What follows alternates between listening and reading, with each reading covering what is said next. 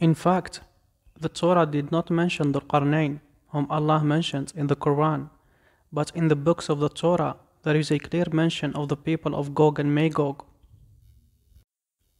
The first book to mention them is Genesis. The book says, Now this is the genealogy of the sons of Noah, Shem, Ham, and Japheth. And sons were born to them after the flood. The sons of Japheth were Gomer, Magog, Madai, Javan, etc. The second book that mentions Gog and Magog is the first book of Chronicles.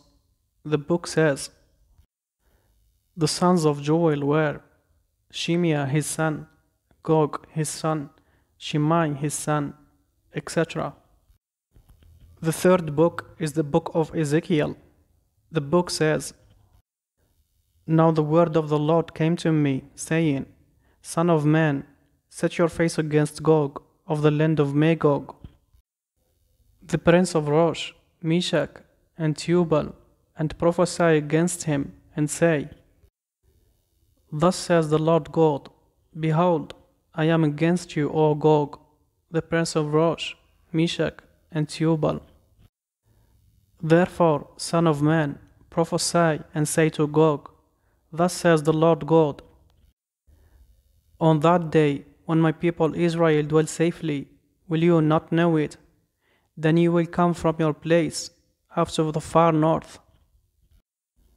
You and many peoples with you, all of them riding on horses, a great company, and a mighty army. It will be in the later days that I will bring you against my land, so that the nations may know me. When I am hallowed in you, O Gog, before their eyes. And it will come to pass at the same time, when Gog comes against the land of Israel, says the Lord God, that my fury will show in my face. The mountains shall be thrown down, the steep places shall fall, and every wall shall fall to the ground. I will call for a sword against Gog throughout all my mountains, says the Lord God. The fourth book is the book of Revelation. The book says, Now, when the thousand years have expired, Satan will be released from his prison and will go out to deceive the nations which are in the four corners of the earth, Gog and Magog, to gather them together to battle, whose number is as the sand of the sea. They went up on the breadth of the earth and surrounded the camp of the saints and the beloved city.